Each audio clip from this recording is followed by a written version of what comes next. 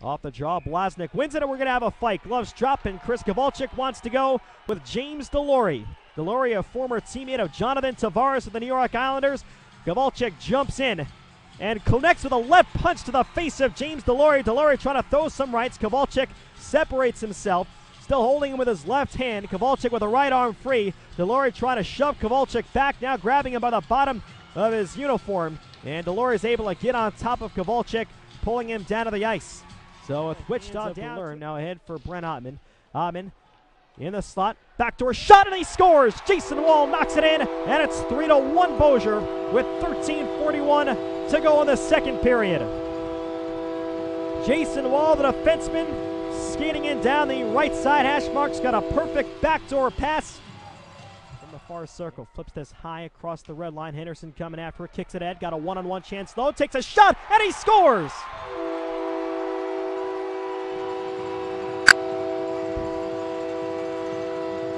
Jay Henderson with a wrist shot from inside the far circle. Once again pulls the Thunder within two goals. Now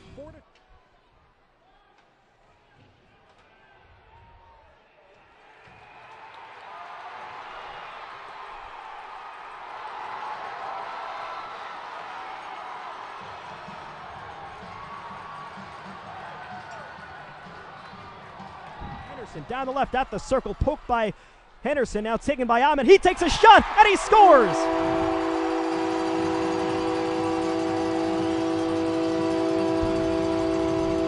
Brent Ottman gives the Thunder a one to nothing lead. Jay Henderson stole the puck. He came in, took a shot. Carroll made the initial save, and then Ottman got back to the rebound and wrist one past Kent Carroll to the right side.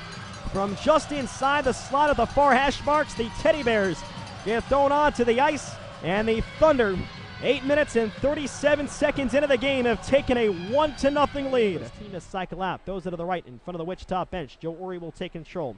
It's Ori moving it ahead, and Kalinicky just upended Joe Ori.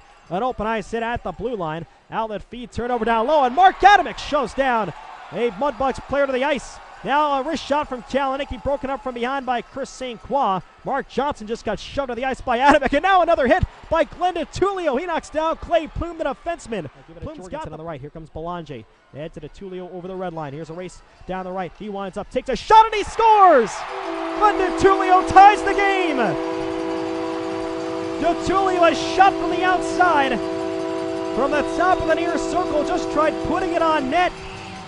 And he bounces it past the right side of Ken Carroll, and it's 2 2 with 13.51.